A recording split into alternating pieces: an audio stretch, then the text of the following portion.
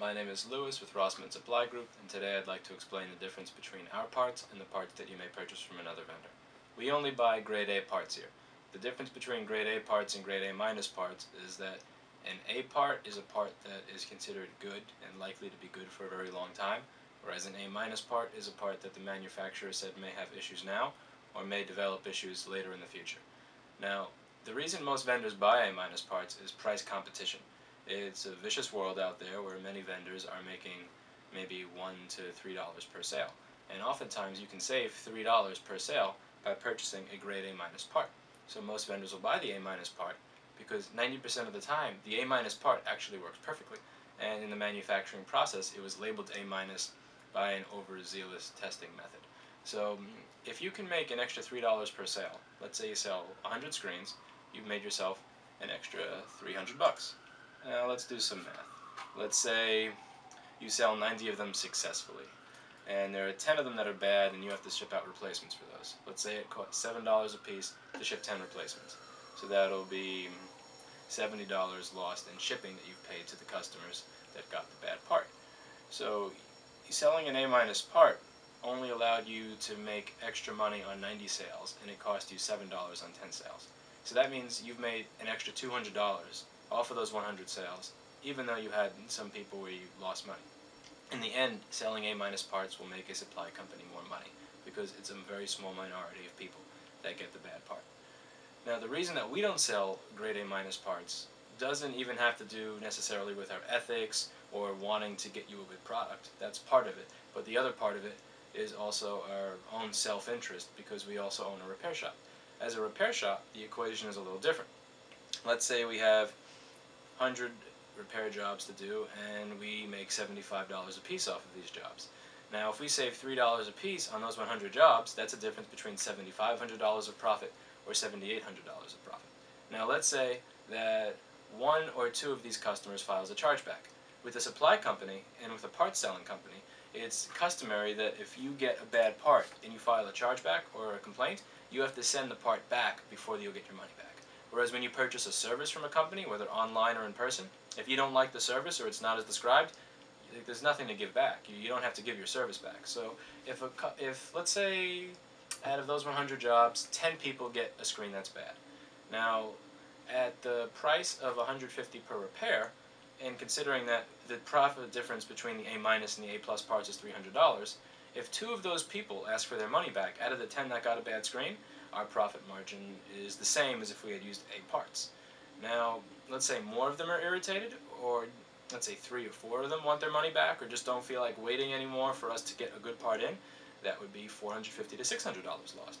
So not only will we have had to deal with a bad part, not only will we have had to deal with an angry customer and a potential bad review, if we use the A minus part, we actually have a very, very high likelihood of losing money as a repair company. And the profits as a repair company per is uh, is a lot higher than the profits of a supply company. So I have a vested interest in selling good parts, not just because I want you to get a good part, that's part of it obviously, but also because I want to get a good part. Because if I start selling A minus parts, I will actually make less money because I'm drawing from the exact same inventory that I'm drawing from when I sell a part to you. So when you buy from us, you're not just buying from a company that sells parts to other companies that doesn't do anything else. You're buying from a company that's actually using the parts that we're selling you. And since we have this vested self-interest in our own quality, you can rest assured that you're always going to be getting a good part when you buy it. It gets worse when we discuss the iPhone 4 because of two reasons. The first one is that it's much more common to find poor parts, such as using an unoriginal LCD where you have the really thick one so that there's less adhesive between the digitizer and the LCD which causes you to have those pressure points where you touch the screen and you have exploding color or the proximity sensor is not shaded right, so you put the phone in your face and it doesn't work, or a low quality, really bad knockoff digitizer where you touch the O key and you can't touch the P key, or you touch the O key and it always touches the P key.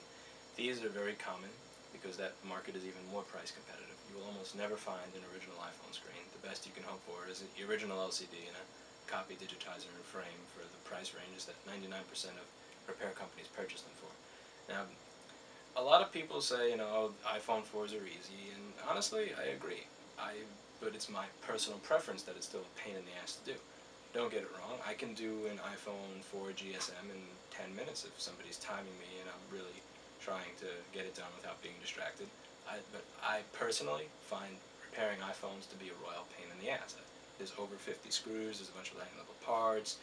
On the CDMA version, you have to tweeze out, you know, little things near the camera for various antennas and put little pieces of tape back together and put the frame clips in so without the washers being you know, over on this side, it has to be on this side so the screw can go through. I find it to be a pain in the ass. And well, it's a place where I've been a long time ago when we used different companies' parts is at 7.45 a customer would come in to get an iPhone repaired and we would close at 8.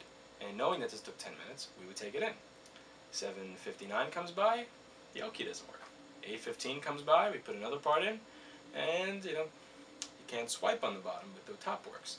You know, 8.30 comes by, and now it's taking me a little longer to get the phone done because I'm hungry, and I really was expecting to leave at 8 and get, you know, my lunch for the day at 8.02. And every time you touch the screen, you get explosion of colors. And at 9 o'clock, a half hour later, again, the repair is taking longer now because I'm incredibly hungry, it, it finally works. So that's not worth saving a dollar or two. That's not even worth saving thousands of dollars over the span of a month. I'm at a point in my life where I want to use parts that just work, and it's not it's not worth staying late. It's not worth having technicians stay late or do the same thing three times in a row when it's something that I find to be a pain in the ass to save a dollar or two. Since I find the iPhone to be a pain in the ass to repair, I don't want to be in a position where I'm opening the phone again, and I don't want you to be in that position either. So if you purchase a part from us, you're purchasing a part not from people that are just selling you an iPhone part that don't actually use them. You're purchasing it from people who literally have to stay at work late and put off eating because they bought shitty parts, which is something that we don't do. Now let's talk about one of the other problems of buying an A-minus part. A lot of the times, A-minus parts are good, and vendors always know that 90% of the time they're going to get a good part. On rare occasion, you will find a sneaky broker. These people are pieces of shit, and you will find them everywhere nowadays that A-minus parts are so popular. The sneaky broker will buy a bunch of A-minus panels, let's say 1,000 A-minus panels, and what they'll do is they'll put a laptop in front of them and they'll plug every single one of these panels into the laptop that they get. And they'll only sell you the parts that are actually A-minus. So let's say out of a 1,000 panels, 300 of them wind up being A minus, which is a little higher than usual. But let's say out of those 1,000 A minus panels, 300 of them, my mistake, are actually bad, where you can visibly see a defect. What they'll do is instead of sending you a mixture of all the A minus ones, where you get some bad and some good, they'll send you the ones that they tested and looked at and knew were bad. Those get separated from the ones that were good, and you'll buy 300 panels that are all bad. Now, if you buy 300 panels that are all bad, you're either forced to sell them at cost or maybe below cost to get rid of them, or to have a returns policy for your customer where you state that you are likely to have a stuck pixel with this panel and we don't want to hear from you if you get a stuck pixel. And obviously, people are not going to like this. They're going to be ticked off and they're not going to like you as a brand, and you may just wind up having to eat lot of panels that you can't sell to people. Now, if you find a sneaky broker like this, you may tell them, well, I want my money back. I, I want to be sent good panels because I bought these and they're usually good. He'll, he'll point to the invoice and say, uh-uh-uh, you bought the A-minus panel. Since you bought the A-minus panel, we don't give a fuck about you. And technically, technically they're correct. Technically you bought an A-minus product. You spend 3 to $7 a piece less on this A-minus product, and because of that, you don't get the same support. Even though they know that they purposely picked out all the bad panels for you, and even though they know that you weren't expecting that, but this is very commonplace. And when you see price competitions on eBay, for, for example, where a panel is be that's typically sold for $65 is being sold for you know 55 and change, and nobody else is selling it that cheaply, you have to wonder, am I getting one of those A minus batches? Because again, most of the time, the A minus batch is good. And when you look at the low prices you'll find on eBay and a couple of other websites, there's simply no way to compete by selling in A product based on price. And on sites like eBay, there is very little branding, there's very little you can do to increase your ranking outside of having a lot of low price sales. On eBay, to get higher, it's a ratio of how many people click your listing to how many people purchase it. And the best way to have a good ratio of people who click your listing to people who purchase it is to have a very cheap product. Now, sometimes you may get a screen from that 90% that are good. But on rare occasion, you may be the unlucky customer that gets the 10% that are bad, or even worse, you may be the unlucky customer that buys from the batch of sorted A minus goods, so where every single one of them is bad. So for one month, a vendor could sell uh, panels where every single panel of a particular model is bad, and they don't even know it, and you don't find out until you get it. And then you have a customer that's you said this repair will be done by Thursday because we ordered it on Monday, and this supplier is from New York. Where in reality, now you have to order from a supplier in California because the New York supplier sent you an A minus part. And then you got to tell them, oh yeah, well don't don't don't worry about it. We'll give you twenty or thirty dollars off your repair. I'm very sorry about the delay. Now the five to ten dollars that you saved buying an, a panel from one of these vendors that sells A minus parts turns into ten, uh, thirty dollars lost because you overpromised the customer. So, in conclusion, think about these things and think about the trends in the industry of purchasing A minus panels to be price competitive, and the trend in Taipei or China where vendors will sort through A minus panels and only sell eBay vendors the junk panels, knowing that they're purchasing an A minus on their invoice. Think about that before you go for the cheapest one, and think about how much uh, how much that five dollars you save now could cost you later. In conclusion, thank you for listening, and good night.